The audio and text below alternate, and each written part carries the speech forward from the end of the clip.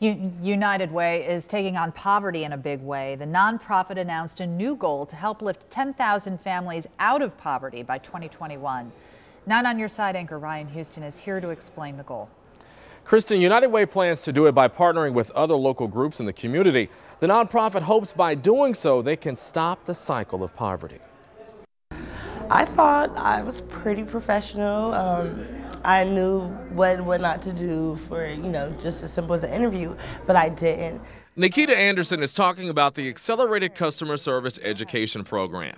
It's one of many offered by the Urban League. But being able to not just come and get like customer service training or help with my resume and interviewing tips, but transportation to the interview, clothing for the interview, that was definitely important because if I didn't have that, then I might not have the job. Those wraparound services really give families the extra support they need. It is really important that those wraparound services do exist because it's more than just training. You have to get the person there. The person has to get to the next place, and then they have to be dressed accordingly. All of that is just a small part of United Way's larger plans.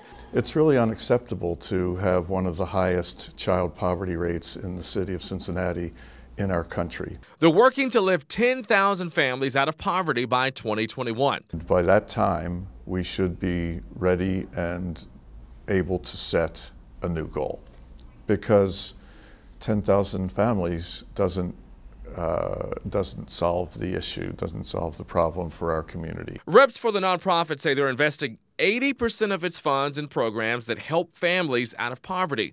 We're told around 15% of United Way's funds will be directed to programs that help individuals live a better life. Those goals will change over time, and uh, hopefully those, those goals will, will become more ambitious over time as they move from, from poverty to perhaps a, a good job.